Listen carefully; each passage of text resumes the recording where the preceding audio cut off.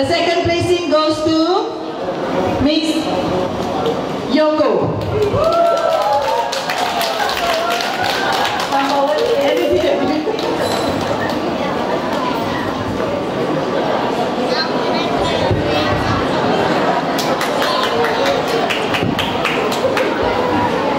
Okay, the selected best dressed,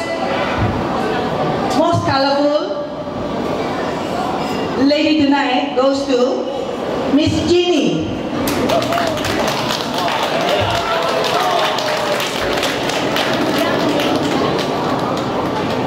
Thank you, Mr.